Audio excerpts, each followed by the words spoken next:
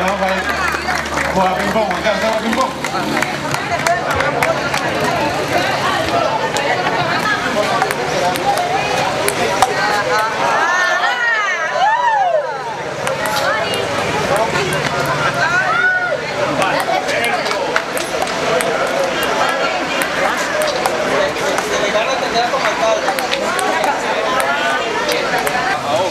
lo tiene, lo estoy delincuencia Se pone 400 metros hasta la línea de la Ángel. Ya.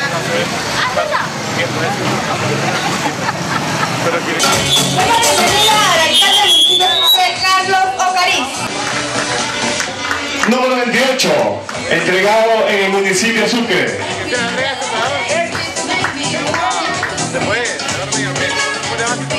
Invitamos al líder de la comunidad.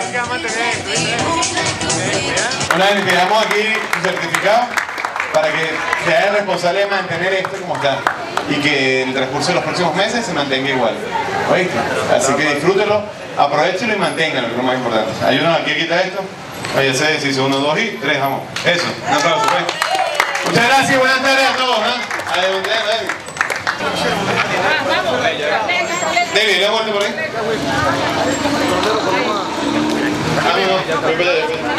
Y continuando con todo lo que es la recuperación de espacios públicos, hoy estamos aquí en Barrunión, estamos entregando dos nuevos espacios juveniles para la comunidad, concretamente aquí en todo lo que es la subida del Boulevard El Carmen y también en Santa Rita. Son dos espacios bonitos, dignos que estamos entregando con mesas de ping-pong, con barras, eh, con mesas abdominales, para que sobre todo los jóvenes tengan un espacio cerca de, de su comunidad o en su comunidad donde puedan hacer ejercicio libremente de manera gratuita y con calidad. Aquí le entregamos inclusive el espacio, aparte los jóvenes del sector, para que se encarguen del mantenimiento, porque no, de nada sirve recuperar espacios si no se mantiene. Y la comunidad está consciente y estamos seguros que lo van a mantener. Próximamente, apenas a menos de 500 metros de acá, vamos a inaugurar el Polideportivo de Mezuca, que tiene dos piscinas, campos de fútbol, cancha de baloncesto, de fútbol de salón, de voleibol, para toda la comunidad completamente gratuito, un espacio de verdad muy ambicioso y muy digno para los petareños y para los vecinos de aquí, de esta parte de Petare, en Mezuca.